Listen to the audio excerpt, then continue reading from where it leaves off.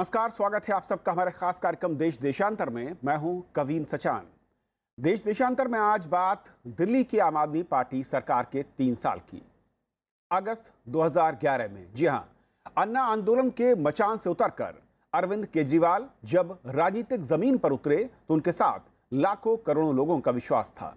ये विश्वास उन निगाहों में चमक रहा था जिनमें बदलाव का इंतज़ार था। देश के कई वर्ग अरविंद केजरीवाल के साथ हाथ में भ्रष्टाचार के खिलाफ झंडा लिए उनके पीछे चल रहे थे। हालाँकि अन्ना खुद अरविंद के इस कदम के खिलाफ थे, लेकिन केजरीवाल ने दिल्ली से राजनीति की शुरुआत की। तीन साल पहले हुए चुनावों में उनकी पार्टी को दिल्ली की जनता ने ऐतिहासिक बहुमत दिया। सत्तर सीटों वाली विधानसभा में सड़सठ सीटें आम आदमी पार्टी को मिली और इसके पीछे थी उम्मीदें, बदलाव की राजनीति और कई सारे ऐसे वादे जो जनता को लुभा रहे थे। आज समझेंगे कि पिछले तीन साल में क्या सत्ता में रहते हुए आम आदमी पार्टी की सरकार दूसरों से अलग थी? क्या जिन उसूलों को आगे बढ़ाने की बात और जिस गंदी राजनीति की हिकारत वाली आलोचना के साथ वो आगे बढ़ी थी, क्या उसे वो हासिल कर पाई? या फिर सत्ता के साथ भी उसके उसूल और उसकी उम्मीदें टूटती रही हैं। या चकाचौंध ने सब कुछ आदर्शों को हवा कर दिया। हमारे साथ चार बेहद खास मेहमान हैं। निर्मल पाठक हमारे साथ हैं, संपादक हैं भाषा से। निर्मल, स्वागत है आपका। हमारे साथ हरीश खुराना है, बीजेपी के प्रवक्ता हैं, दिल्ली से। हरीश जी, स्वागत है। विवेक यादव हमारे साथ हैं, आम आदमी पार्टी के नेता और प्रवक्ता। विवेक जी, आपका भी स्वागत है। और कांग्रेस के, दिल्ली कांग्रेस के वरिष्ठ नेता और पूर्व मंत्री हारून यूसुफ साहब हैं। आपका भी बहुत बहुत स्वागत है।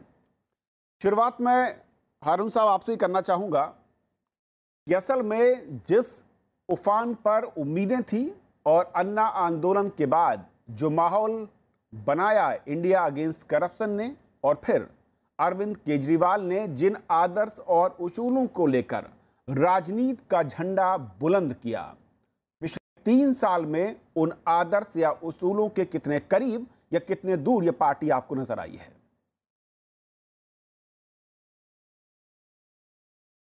देखिए, ये तो तमाम लोग अच्छी तरीके से अब जान चुके हैं कि अरविंद केजरीवाल की सारी राजनीति जो है, कि सत्ता किस तरह हासिल किया जाए भोले भाले लोगों की ख्वाब कैसे दिखाए जाए, उनकी उम्मीदों को और बढ़ा देना, ये काम रहा है।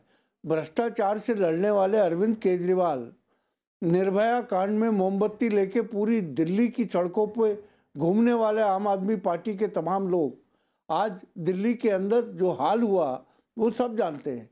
ना गाड़ी लूँगा, ना बंगला लूँगा, ना तनख्वाह लूँगा, ये तमाम चीज़ें शुरू की।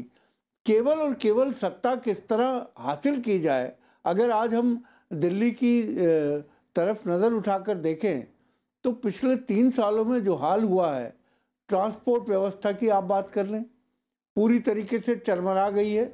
एक बस लेके आए केवल और सत्रह सौ बसेस जो है इन्होंने डीटीसी के बेड़े से कम कर दी। हम पाँच पा, साल में आखिर के तकरीबन तीन हज़ार दो सौ पैंतीस बसेस लेकर आए थे। ये तीन साल से कह रहे हैं कि हम दस हज़ार बसेस लेके आएँगे। भ्रष्टाचार की बात करने वाले लोग जिनके तकरीबन पाँच मंत्री जो हैं भ्रष्टाचार में बाहर हुए हैं। आज दिल्ली के अगर आप पॉल्यूशन की बात करें ये जिस तरीके से दिल्ली के अंदर पिछले तीन साल में पॉल्यूशन बढ़ा है अगर आपको याद हो 98 में जब शीला दीक्षित जी की सरकार बनी थी उस समय आई और दूसरे चौराहे ऐसे थे जहाँ से अगर आप गुजर जाएँ तो आपके चेहरे पे काला एक ग्रीस टाइप की चीज़ रहती थी।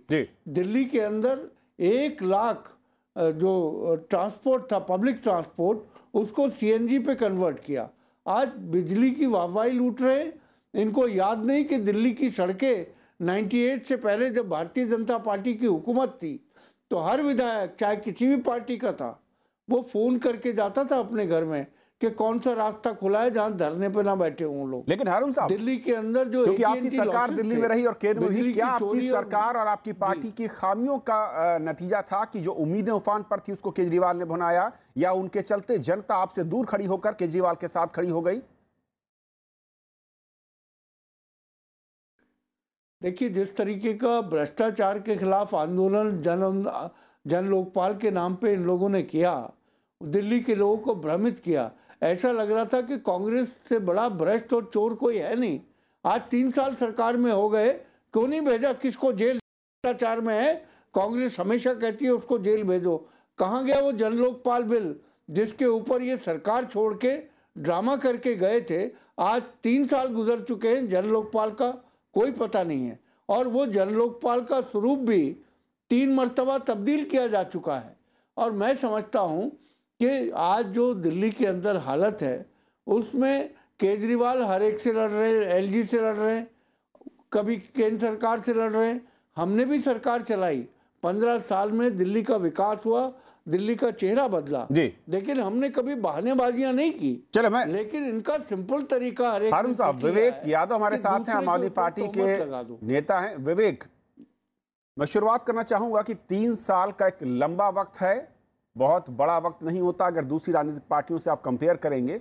लेकिन जिन मूल्यों और आदर्शों को आपने स्थापित करने की ठानी थी और राजनीतिक दल बनने से पहले अन्ना के मंच से उतरने के बाद उन आदर्शों पर पिछले तीन साल में आपकी सरकार कितना आगे बढ़ी है या कितना पीछे हटी है?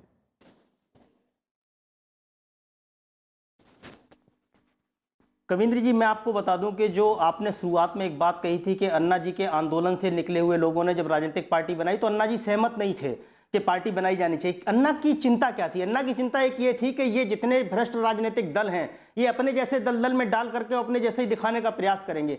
तीन साल की सरकार ने ऐतिहासिक काम किया है और उसके बावजूद भी इतना प्रोपोगंडा या दोनों पार्टियाँ इकट्ठा होकर के जो कर रही हैं। अन्ना शायद इसी डर को बताना चाहते थे कि इमेज खराब कर देंगे, आपके ऊपर कीचड़ उछालेंगे और आपकी छवि खराब करने का प्रयास करेंगे। लेकिन इसका कोई डर नहीं है। अरविंद केजरीवाल जी ने कहा कि हम अपनी इज़्ज़त भी दांव पर लगाने के लिए तैयार हैं इस देश में, अगर इस देश के सुधार के लिए, भलाई के लिए। बात ये उठती है कि अब हमने किया क्या? हमारे जो सबसे बड़े वायदे थे, बिजली का पानी का स्वास्थ्य का और शिक्षा शिक्षा इन इन मुद्दों पर चीज़ें ये होती है देखिए काम की बुनियादी ये हर सरकार के होते हैं। इससे पहले मैं बड़ी बातों पर ही चाहूँगा जवाब। आपकी सरकार बनने से के पहले दिल्ली पानी। विवेक जी आपकी सरकार बनने से पहले एक बड़ा वादा जो आम आदमी पार्टी ने किया था जनता से उम्मीदें जिससे जगी थी वो थी साफ़ सुथरी राजनीति और राजनीतिक दलों में आंतरिक लोकतंत्र। क्या कायम कर पाए? आरोप है आपकी पार्टी पर कि आंतरिक लोकतंत्र के नाम पर आपने अपने ही साथियों को बाहर निकाल जी एक मिनट मुझे कंप्लीट करने दीजिए शायद मैं जितना जितना समय आपने जितना समय आपने हारून यूसुफ साहब को दिया अगर इतना समय देंगे तो बहुत कुछ मैं क्लियर कर दूँगा शायद सवाल पूरा उसके बाद पूरा बचेगा नहीं सर। जहाँ तक ये बात कर रहे हैं कि हमने राजनीति में स्वच्छता हमने राजनीति में जो किया अभी तक जो वायदे पूरे करने की बात है तो इसमें तो कोई किसी को संदेह नहीं है भारतीय जनता कांग्रेस के अंदर खाने सारे लोग इस बात से चिंतित हैं कि शिक्षा और स्वास्थ्य के काम जो इन्होंने किए हैं दिल्ली के अंदर, उसको कोई इग्नोर नहीं कर सकता। बिजली के बिल कहा था कि हम आधे करेंगे बिजली के दाम सब्सिडी दी और अभी तक बढ़ने नहीं दिया तीन साल के अंदर। पानी, हमने ये नहीं कहा था कि मुफ़्त पहुंचाएँगे, साथ में ये कहा था घरों तक पहुंचाएँगे भी। ये दिल्ली आज़ादी के सत्तर सालों के बाद भी पानी के लिए तरस रही थी। अरविंद केजरीवाल जी की आम आदमी पार्टी की सरकार थी, जिसने बिजली के बाद पानी पे एक बड़ा काम किया कि बीस हज़ार लीटर पानी मुफ़्त दिया ही नहीं। कई एक ऐसी कॉलोनियाँ जहाँ असंभवता पहुंचाना हुआ पानी पहुँचाया। अब अ, आप अगर ये बात करें कि साहब भ्रष्टाचार को लेकर के पाँच पाँच मंत्री हमारे हटाने पड़े किसने हटाए? हारून यूसुफ साहब आप और भारतीय जनता पार्टी इस मुद्दे पर हमेशा मिले रहे। अरविंद केजरीवाल जी को खुद से सबूत मिले अपने मिनिस्टर्स को खुद उन्होंने हटाया। हमारे मंत्री के खिलाफ जब शिकायत आई कि वो कहीं पैसे लेते अ, सुना गया है तो उसके खिलाफ खुद एक वीडियो मंगा करके लोगों को भेज करके पता कराया और अपने मंत्री को हटाया। ये आम आदमी पार्टी के अंदर केवल क्षमता है हमारे नेता अरविंद केजरीवाल के अंदर क्षमता है कि अपने लोगों पर कार्रवाई करने की दम रखते हैं। आपकी सीबीआई ने नहीं पकड़ाया आपकी आपकी पुलिस ने नहीं पकड़वाया। दूसरा भारतीय जनता पार्टी की सरकार हमारे एमएलए को रोज एक फर्जी एफआईआर में फंसाती है कोर्ट से फटकार पड़ती है दिल्ली पुलिस को, जी, मैं माफ़ी के साथ कहना चाहूँगा, आरोप प्रत्यारोप के दौर से अलग- इमेज खराब करने का विवेक जी। छवि खराब करने का जो पूरा मैं बड़े मुद्दे पर लाना चाहता हूँ कि इसी आरोप प्रत्यारोप की राजनीति से दूर एक नई राजनीति के विकल्प की बात आपकी पार्टी ने की थी और जिसको युवाओं ने चाहा था उनकी उम्मीद थी कि लगता है सपना पूरा होगा। ऐसा नहीं लगता कि आप उसी दलदल की तरफ़ बढ़ गए जिस दलदल से निकालने का वादा लेकर आप राजनीति के मैदान पर कूदे थे। नहीं कविंद्र जी, देखिए ना, आज भी मैं कहता हूँ, हमारे विधायकों ने जहाँ जहाँ गड़बड़ किया, भारतीय जनता पार्टी ने नहीं दिया वो सबूत। अभी खुराना साहब मैं देख रहा था कई एक डिबेट में कुछ फर्जी आंकड़े लेकर के लहरा रहे थे और बता, कितना भी प्रयास कर लें, लेकिन हम फिर कहते हैं कि अरविंद केजरीवाल हमारे नेता का एक ये वादा है कि अगर भ्रष्टाचार हमारी पार्टी के अंदर भी होगा हमारा कोई व्यक्ति पकड़ा जाएगा तो उसको खुद निकाल के बाहर करेंगे बर्दाश्त नहीं करेंगे और करके दिखाया है। अपने पाँच मंत्रियों आंतरिक लोकपाल पार्टी में नहीं स्थापित हो पाया बाहर की लोकपाल को लेकर संशय बरकरार है कि स्थिति में क्या है? टू जी में क्या हुआ? हाँ बिल्कुल मैं बता दूँ आपको पहली जब सरकार बनी उनचास दिन की जन लोकपाल पे कुर्बान हो गई क्योंकि ये भारतीय जनता पार्टी और कांग्रेस मिलकर के बेल में आके चिल्लाए कि नहीं हम 40 मिलकर के जन लोकपाल को पास नहीं होने गए अरविंद केजरीवाल ने कहा कि अगर हमारा सबसे बड़ा सपना जन लोकपाल पास नहीं हो सकता तो हम ऐसी सरकार को छोड़ना पसंद करेंगे कुर्सी से चिपके रहना पसंद नहीं करेंगे। चले उसके बाद क्या हुआ दोबारा सरकार बनी आप पर नहीं आ रहे जो मैं सवाल कर रहा हूँ। पूछे खुराना साहब से कल कल क्यों नहीं लागू करा देते हैं? हाँ, निर्मल। चलिए चलिए। मैं आ रहा हूँ आपके पास। निर्मल लेकिन जो बड़ा सवाल है जिन मूल्यों जिन उसूलों को लेकर अन्ना के आंदोलन में लोग जुटे और उनको भुनाने की कोशिश मैं कहूँगा भुनाने की कोशिश में जानबूझ कर शब्द इस्तेमाल कर रहा हूँ क्योंकि वो सपने अधूरे लगे तीन साल के बाद भी। ये पार्टी क्यों उनसे दूर भटकती चली गई और लोकपाल आंतरिक लोकपाल स्वच्छ साफ़ सुथरी राजनीति ये ऐसे मुद्दे थे जिनके ज़रिए आपने युवाओं को अपने साथ जोड़ा आकांक्षाएँ बढ़ाई लेकिन फिर क्यों टूटी? बिल्कुल जब ये रामलीला पे रामलीला मैदान में जब ये आंदोलन चल रहा था और उसके बाद और भी जो आंदोलन हुए इनके चाहे जंतर मंतर पे हुए हों या दूसरी जगहों पे अन्ना जब इनके साथ थे तो उस समय एक आ, सभी को खास करके युवा वर्ग को जो उस समय की राजनीति से जो गठबंधन की राजनीति या करप्शन जिस तरह से आ रहा था जिस तरह यूपीए के कामकाज के बारे में बात हो रही थी उससे उसका मोह भंग हो रहा था जो एक परंपरागत राजनीति हमारे यहाँ चली थी तो उनको उस समय इन लोगों ने ये भी नहीं कहा था कि ये राजनीति में आएँगे हम्म। लेकिन एक उम्मीद जैसी बनी थी कि ये एक नया एक वैकल्पिक एक राजनीति शायद इससे उभर कर आ सकती है और बाद में फिर जब उन्होंने राजनीति में आने का अपना इरादा ज़ाहिर किया तो उसके बाद ये धारणा लोगों की और बहुत सारे लोग सिर्फ़ इसी वजह से आम आदमी पार्टी के साथ जुड़े कि ये शायद जो भारतीय जनता पार्टी और कांग्रेस की जो एक राजनीति जिस तरह से परंपरागत जो राजनीति जो एक कन्वेंशनल हो गई थी कि दोनों हम्म। पार्टियाँ लगभग एक जैसी हैं। ये लोगों के मन में आ गया था। उससे ये पार्टी एक अलग हटके होगी जो एक साफ़ सुथरी राजनीति देगी। एक भ्रष्टाचार तो खैर मुद्दा था ही। भ्रष्टाचार को लेकर शायद उतना एक समर्थन ज़रूर था उनके साथ पर ऐसी उम्मीद किसी ने भी नहीं की होगी भ्रष्टाचार रातों रात ख़त्म हो जाएगा। पर ये लोग एक साफ़ सुथरी राजनीति देंगे चीज़ों को बदलने की कोशिश करेंगे वो उम्मीद इन लोगों से लगी थी। पर पिछले तीन साल का आप अगर उसका रिकॉर्ड देखेंगे चाहे वो पार्टी में आंतरिक लोकतंत्र की बात हो उसके उदाहरण देखें यहीं योगेंद्र यादव देखे हैं अभी हाल ही में आ, कुमार विश्वास खुद ही बोल रहे हैं उस हम्म। चीज़ को इनकी पार्टी के जो कहते भी हैं कि वो हमारी पार्टी के बड़े नेता हैं फिर भी उनको बड़ा नेता मानने को तैयार नहीं होते हैं फिर दूसरा आ, इनके जो मंत्रियों का जो गया आपने इस तरह के लोग नहीं सेलेक्ट कर सके आप क्योंकि आपको अपने लोग चाहिए थे जो आपकी कसौटी पर खड़े उतर सकें भ्रष्टाचार के मामले में या कामकाज के मामले में। जिन खामियों को लेकर आप दूसरे दलों को गाली देते बिल्कुल ये धीरे आलोचना करते थे। शायद इनको ये एक रियलाइजेशन हो रहा है कि अगर आपको राजनीति में रहना है तो वही सब घटिया काम आपको भी करने पड़ेंगे जो कांग्रेस और भारतीय जनता पार्टी करते रहे हैं। हम्म। तो उसमें फिर ये जो एक वैकल्पिक राजनीति देने का या और दूसरी पार्टियों से अलग पुरानी पार्टियों से अलग एक विकल्प देने की बात थी वो कहीं ना कहीं गुम होती हुई दिख राणा साहब विकल्प देने की कोशिश केजरीवाल ने की उम्मीदें थी और आप लोगों ने जैसा कि कह रहे हैं वे कि आपने एक दलदल बनाया और उसमें खींच कर उनको खड़ा कर दिया। देखिए सबसे बड़ी एक जो समस्या कह लीजिए या एक जो सो कॉल्ड थ्योरी केजरीवाल साहब की जो थ्योरी ऑफ़ फेल हुई, उसका सबसे बड़ा कारण बताऊँ आपको। इनका एक सिंपल सा फंडा है। ना खाता ना बही, जो केजरीवाल कहे वही सही। पत्थर की लकीर हो गई, चाहे वो गलत है या सही है। जो केजरीवाल साहब ने कह दिया, वो बिल्कुल सही है। उनके प्रवक्ता लोग भी, सब कुछ लोग भी उसी को रटे रटाए डायलॉग को बोलते रहेंगे। मैं एग्ज़ाम्पल छोटे एग्ज़ाम्पल देता हूँ। अभी ये लोग बड़े बड़े दावे करते थे कि जिस प्रकार से सब्सिडी दी जाती थी, इन्होंने कांग्रेस को क्या नहीं बोला? क्या गाली नहीं दी कि ये अंबानी इसके पिछलग्गू हैं, दलाल हैं, किस तरह की भाषा का प्रयोग करते थे? आप लोगों ने भी देखा। इन्होंने क्या किया? आते ही वही सब्सिडी जो कांग्रेस दे रही थी, आपने कंटिन्यू किया और आपने बिजली हाफ़ का जो आप कह रहे हो फ़र्क क्या रह गया? कांग्रेस और और आम आदमी पार्टी के अंदर? वही का वही है ना? अभी मेरे मित्र सामने बैठे हुए बड़े बड़े दावे कर रहे थे कि हमने हॉस्पिटल और एजुकेशन में हमने रिवोल्यूशन ला लिया और मैं फर्जी आंकड़े पेश कर रहा हूँ आरटीआई हम्म। का सिखाया तो आप एक केजरीवाल हैं मैंने आरटीआई से निकाले फर्जी वर्जी कोई बात नहीं है आप विश्वास मानिए 2014-15 जब इनकी सरकार आई थी एक लाख छियासठ हज़ार दो सौ सत्तावन लोगों ने अपियर किया था ट्वेल्थ के एग्ज़ाम दिल्ली की जनसंख्या 20 लाख बढ़ गई सरकारी स्कूलों की बात कर रहा हूँ मैं हम्म। इस साल पिछले साल जो निकला है एक लाख इक्कीस हज़ार छह सौ इक्यासी लोगों ने अपील किया यानी कि सरकारी स्कूलों में लगभग चालीस हज़ार बच्चे कम हो गए बढ़ने की बजाय। ऐसे ही टेंथ के अंदर एक लाख अस्सी हज़ार दो सौ तीन लोगों ने अपील किया और पिछले साल एक लाख पचपन हज़ार दो सौ तिरसठ लोगों ने कम किया।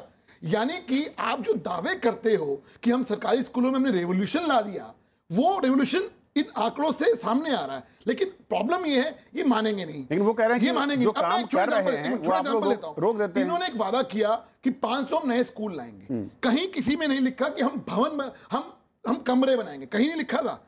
लेकिन हम जब सवाल पूछते हैं कि आपने 500 स्कूलों में से कितने स्कूल बनाए? नहीं नहीं हमने तो 6000 कमरे बना दिए। अरे बाबा जो आपने कहा था उसको तो आप पूरा करिए। प्रॉब्लम्स 2013 के अंदर इनसे पहले भी आती थी। आप चाहे 93 में खुरानी की सरकार हो या शीला दीक्षित की सरकार हो केंद्र से टकराव तब भी हुए हैं। ऐसा नहीं कि टकराव नहीं होते थे। मतभेद तब भी होते थे। हारून भाई बैठे हैं सामने लेकिन बैठ के सॉल्यूशन निकलता था। बहुत बड़ी बड़ी बातें करते हैं विवाद बढ़ाने के बजाय सुलझाने की दिशा में काम करना चाहिए महिला सुरक्षा में बात करते हैं। मैं छोटे एग्जांपल देता हूँ। बहुत संक्षेप में अगले सवाल पर आना महिला सुरक्षा की बात करते हैं। हम्म। आज तक एक अधिकार है मैं बताता हूँ आपको। दिल्ली सरकार पुलिस कमिश्नर को तलब कर सकती है। आपको भी मालूम है हरुण भाई सामने बैठे हुए हैं। कई बार पिछले पहले सरकारों ने किया हुआ है। एक भी मीटिंग मैं दावे से कह सकता हूँ एक भी मीटिंग अरविंद केजरीवाल साहब ने पुलिस कमिश्नर के साथ या एलजी के साथ तीनों ने बैठ के दिल्ली की लॉ एंड ऑर्डर कैसे सुधरे नहीं करी। लेकिन प्रॉब्लम यह है गलती मानेंगे नहीं। गलती नहीं मानेंगे। हारून साहब लेकिन जिस तरीके से पिछले तीन साल के बाद भी दिल्ली में उपचुनाव हुए केजरीवाल की पार्टी का वोट और उनकी जीत क्या यह कहा जाए कि जादू बरकरार है, कम हुआ है, और अगर बरकरार है तो ऐसा लगता है कि फिर आप लोगों का भविष्य सुरक्षित नहीं है।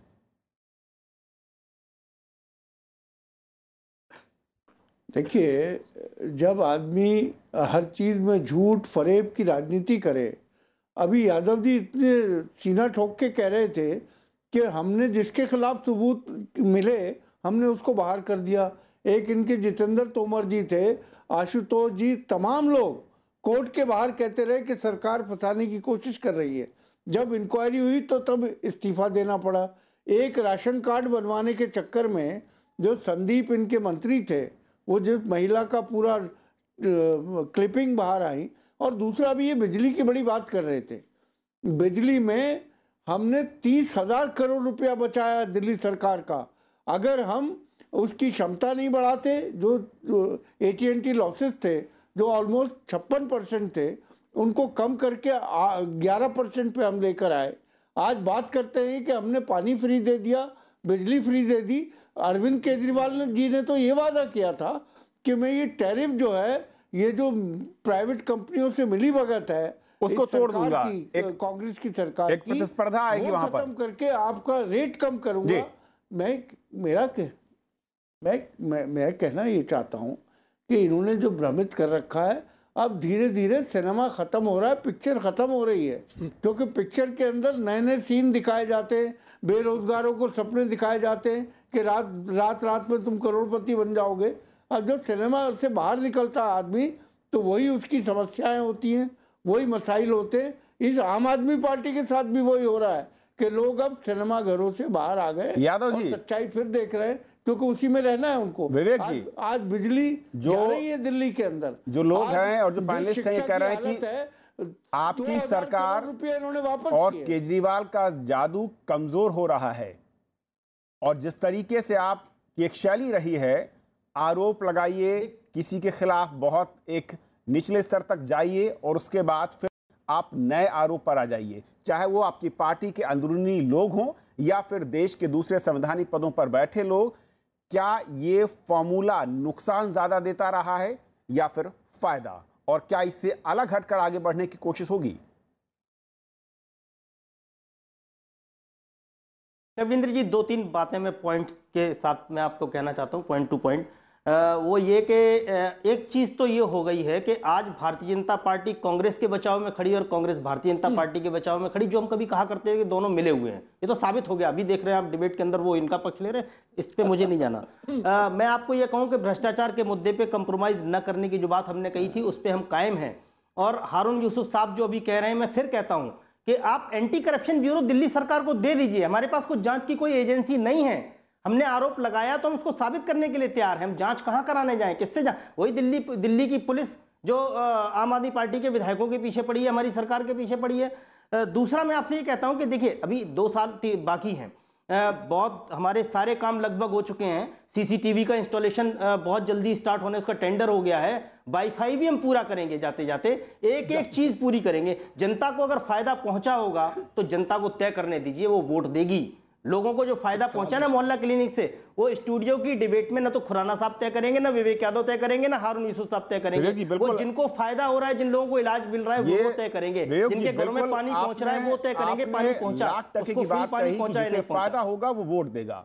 मेरा सवाल इससे थोड़ा सा आगे है।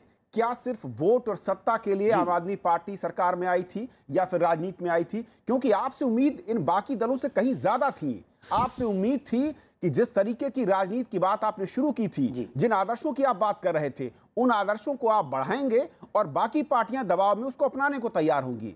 लेकिन आप उससे अलग होते गए। आंतरिक लोकतंत्र के नाम पर अपने ही लोगों को बाहर कर दिया गया।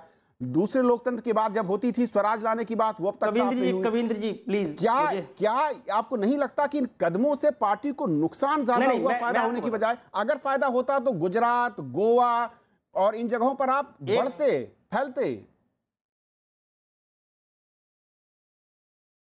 हाँ बिल्कुल। मैं आपको बता दूँ, बहुत लाख टके की बात आपने कही है कि हम उतने बड़े मानक स्थापित करें कि हमारे दबाव में ये पार्टियाँ करें, उसको स्वीकार करें। हमने करके दिया, आम आदमी पार्टी के नेता अरविंद केजरीवाल ने करके दिया। 27 साल लाल बत्ती के साय में घूमने वाले प्रधानमंत्री को अगर कहना पड़ता है कि वीआईपी कल्चर खत्म करते हैं, गाड़ी के ऊपर से लाल बत्ती हटाते हैं तो ये आम आदमी पार्टी की राजनीति में आने के बाद हुआ, अरविंद केजरीवाल जी के दबाव के बाद हुआ। अगर 10 लाख रुपए का सूट पहनने वाले व्यक्ति को फकीरी होने, फकीर होने का प्रमाण देना पड़े, ये आम आदमी पार्टी के नेता अरविंद केजरीवाल का दबाव था जो ईमान डिबेट पे पूरी राजनीति को लेकर के आए हैं।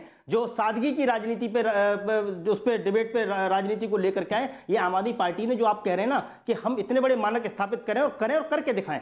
ये इससे पहले नहीं हुआ। ये हमारे राजनीति में आने के बाद अरविंद केजरीवाल के राजनीति में पदार्पण के बाद हुआ है। तो हमने कुछ तो बदला है साहब। इतना तो आप नहीं कहते दूसरा भ्रष्टाचार इस राजनीति का आ, कभी डिस्कोर्स नहीं मुद्दा नहीं रहा कभी बहस का मुद्दा नहीं रहा। बहुत संक्षेप राजनीति की अगर बात करें यादव जी आप बड़ी बड़ी बातें तो करते हैं। जो कहा वो करके दिखाया पाँच साल में एक एक वायदा पूरा यादव जी सत्येंद्र जैन तो भूले नहीं होंगे आप।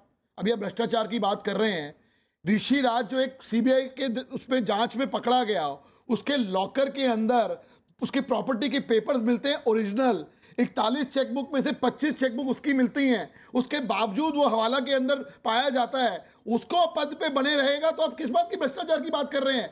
आप भ्रष्टाचार के डबल स्टैंडर्ड जो आप कर रहे हैं उस पर दिल्ली की जनता जवाब मांग रही है। चलिए मैं सीबीआई इंक्वायरी कर रही है आम आदमी पार्टी विवेक साहब मैं निर्मल को लाना चाहूँगा। निर्मल। आम आदमी पार्टी के जिन उसूलों की बात मैं बार बार कर रहा हूँ और उनको याद दिलाने की कोशिश कर रहा हूँ क्या आपको लगता है कि अरविंद केजरीवाल आम आदमी पार्टी का जो जादू है वो पहले से कमज़ोर हुआ है और उसके पीछे आंतरिक लोकतंत्र या अपने नेताओं के या पुराने कार्यकर्ताओं को साथ न रख पाना? प्रधानमंत्री या दूसरे दलों के वरिष्ठ नेताओं पर सीधे बहुत ही कटु या फिर मैं कहूँ कि बहुत तीखे हमलों के ज़रिए खुद को प्रचार के मैदान पर आगे रखना। ये कुछ ऐसे रणनीति हैं जो कि कारगर नहीं बल्कि बैकफायर करती रही देखिए ये एक छोटे शॉर्ट टर्म पीरियड के लिए तो ये कारगर हो सकती हैं। लेकिन अगर लॉन्ग टर्म की पॉलिटिक्स करनी है तो आपको दूसरी पार्टियों से अलग तो होना ही पड़ेगा। देखिए इन लोगों के दबाव में हो सकता है या जो उस समय एक जन उभार बना था जब अन्ना का आंदोलन चला था उसके बाद से जो बड़ी पॉलिटिकल पार्टी है कांग्रेस है या भारतीय जनता इन्होंने भी अपने कामकाज में बदलाव किया है। हम्म। वो इसका श्रेय अगर केजरीवाल को दे रहे हैं तो उसमें भी कोई बुरी बात नहीं है। पर ये हुआ तो दबाव में ही है जनता के दबाव में हुआ है और दोनों पार्टी अपने को ठीक करने की कोशिश कर रही हैं करप्शन को लेके या और भी दूसरे उसमें। दोनों पार्टियों ने कुछ मेजर्स इस तरह के लिए हैं। अब उसमें लॉन्ग टर्म में अगर केजरीवाल उनकी बुराइयाँ तो ले रहे हैं आम आदमी पार्टी उनकी बुराइयाँ ले रही है जबकि वो अपने को सुधार रहे हैं। तो इस लंबे समय में केजरीवाल आम आदमी आम आदमी पार्टी कांग्रेस या भारतीय जनता पार्टी तीनों एक सी हो जाएँगी। अगर उनको अभी इन लोगों को अगर समर्थन मिल रहा है बात ऐड करना चाहूँगा। अभी इनको अगर समर्थन मिल रहा है तो इसलिए मिल रहा है क्योंकि ये उनसे कम खराब है। मुझे मुझे ऑब्जेक्शन किस बात का है? बहुत संक्षेप मुझे ऑब्जेक्शन इस बात पे कि पहली बार सब कुछ हो रहा है। मैं याद दिलवाऊँगा 1996 खुराना जी दिल्ली के सीएम थे। हवाला कांड में तीन लाख का आरोप लगा था। मिनट लगाया था इस्तीफा देने में। दे तो वो मानक हमने सेट किए हुए हैं। पहले तो पहली बार ऐसा हो रहा है ऐसा नहीं है। विवेक कंक्लूडिंग रिमार्क में आपसे चाहूँगा इस दो बातें बहुत संक्षेप में वक्त खत्म हो चुका है आप देने का झूठा वायदा युवाओं से किसने किया इस देश विवेक विवेक बहुत संक्षेप में। आत्मनिरीक्षण और मंथन ज़रूरी है। एक कोई बड़ी कमी जो आपको लगता है कि जो भूल है चूक हुई है जिसे बदलना चाहेगी आपकी सरकार आपकी पार्टी और एक ऐसा बड़ा एजेंडा जो अगले दो साल में आप पूरा करना चाहेंगे। बहुत संक्षेप में, सर। नहीं, निश्चित रूप निश्चित रूप से कुछ ना कुछ कमियाँ थोड़ी बहुत हो सकता है रही होंगी, उसका आत्मावलोकन करेंगे, ऐसा हम नहीं कहते। और हमारे नेता का एक सबसे बड़ा जो गुण है वो यही है कि वो किसी की भी बात सुनते हैं और गलती होने पे मानते भी हैं। ये जो एक भ्रम फैलाया जाता है कि नहीं वो किसी की बात नहीं सुनते किसी की मुझ जैसे छोटे से कार्यकर्ता की सलाह पे भी वो कभी कभी डिसीज़न लेते हैं। तो मैं आपसे फिर कहता हूँ कि हाँ कमियों पे आत्मंथन करेंगे अगर कहीं कमियाँ रही होंगी और दो साल का वक्त है लोगों के बीच में एक बार जाएँगे देखेंगे बात करेंगे। लेकिन मुझे लगता यह है कि देश की दिल्ली की जो जनता है वो पूरी तरह संतुष्ट है ये इलेक्शन तय कर देगा आने वाला। चलिए बहुत बहुत शुक्रिया आप चारों मेहमानों का हमारे साथ इस अहम मसले पर जुड़ने के लिए। और ये समझने के लिए कि दिल्ली की आम आदमी पार्टी की तीन साल की सरकार की कार्यशैली कैसी रही, जिन उसूलों के साथ पार्टी बनी और सत्ता में आई, वो उसूलों पर कितना कायम रह पाई। देश देशांतर में आज इतना ही। नमस्कार।